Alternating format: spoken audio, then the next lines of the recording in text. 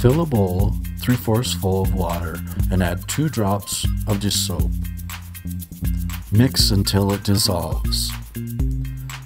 With wet hands, pull the EZGuard away from its paper backing.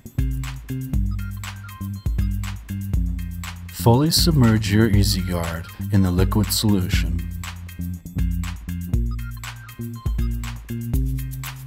Remove excess water from the EZGuard by sliding it between your index and middle finger.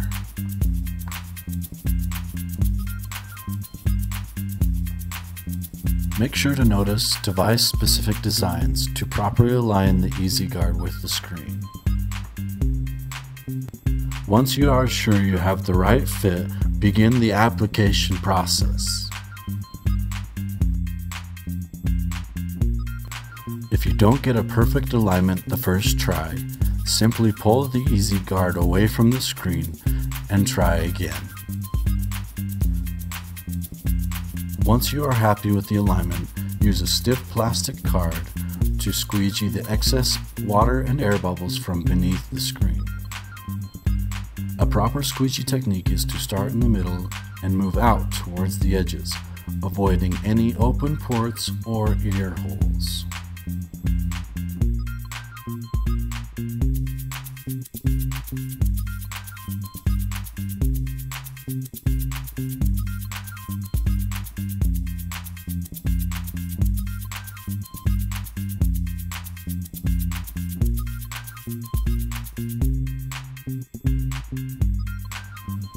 When satisfied with your squeegeeing, examine your device.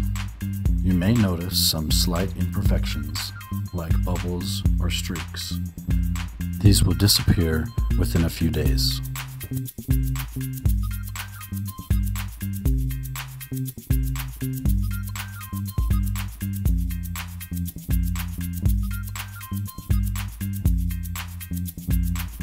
You have now finished the application process. Leave your device off for 3 to 6 hours. For best results, let the material cure overnight.